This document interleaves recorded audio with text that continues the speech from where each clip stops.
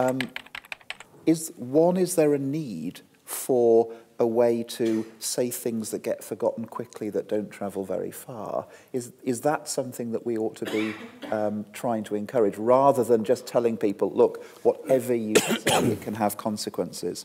And the other thing is potentially one way of doing that by using um, software that attempts to keep you anonymous or pseudonymous.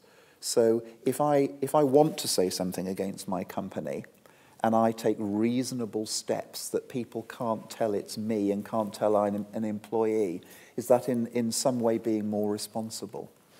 What do we think about that? I would, John, yeah, go, go. are we going to keep going? I'm hoping we're all not going to agree on No, I really regret sitting on the end here. quite nice to be further along that way. But um, I mean, I guess with the, um, the sort of temporary shelf-lifed comment that you've described or posed as a possibility. It's kind of Snapchat, really.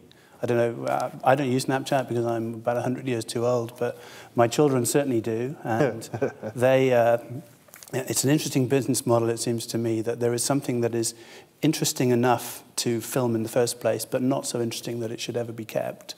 Um, which I think says something about where, where it grew up. So that idea kind of exists, the idea of the temporary remark.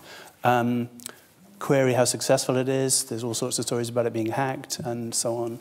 I think the, the other thing you, we may segue into is a discussion about the right to be forgotten, which is quite high, high profile in terms of your ability to have this digital history of everything you ever said about your employer or whomever kind of taken down off the internet at the press of a button. There's all sorts of issues with that that we could get into.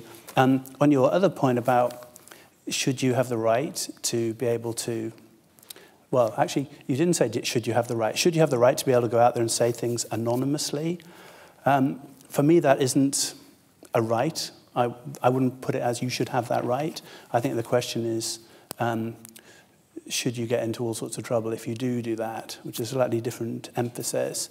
Uh, there's all sorts of issues. Once you have anonymous content, then um, um and the ability to say something anonymously about somebody else in World War II got you shot you could say, oh, so-and-so is an informer or whatever. And there culturally in Europe, there are all sorts of reasons why people really, really throw up on the idea of the anonymity, meaning that it's decoupled from a sense of responsibility in terms of what you say. So it's complicated. Personally, I think if you, I think you should be man enough to put your name to it if you're, if you're going to say it. Okay, well, sometimes I don't feel like putting my name to it. I have half a dozen accounts in Twitter that I've used over the years because I wanted to say things that needed to be said but didn't need to be associated with my name or with my company. Um, quite frankly, most of my accounts were started as social accounts for me, but then because of my role as an advocate, as a, as a company representative, got associated with the company. So sometimes, and this is a rare thing, I, I have things that I need to say about people, about companies, about events that I don't want to have associated with my main account. So I created these pseudonyms.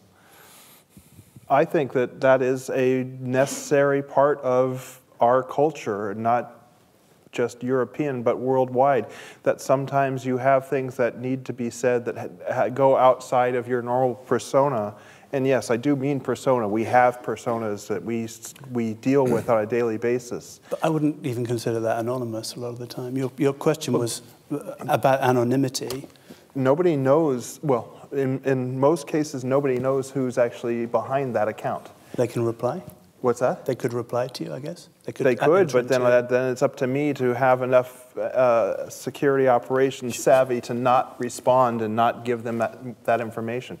But the other thing is really there is no such thing as an anonymous account. Yes, you may not be able to figure out who's behind it, but if GCHQ wants to find out, if NSA, if law enforcement wants mm -hmm. to mm-hmm. find out, and quite frankly, even if we have a right to be forgotten, none of those agencies are going to forget anything we've ever said ever from this point forward. It's being recorded, so there is no anonymity uh, any more than there is privacy in this day and age. It's a forgotten concept as we thought of it 20 years ago, even 10 years ago. Um, we either need to figure out a way going forward to reclaim some of that privacy, some of that anonymity, or we need to develop new social structures with the understanding that those are gone and everything you say will be used against you in the future.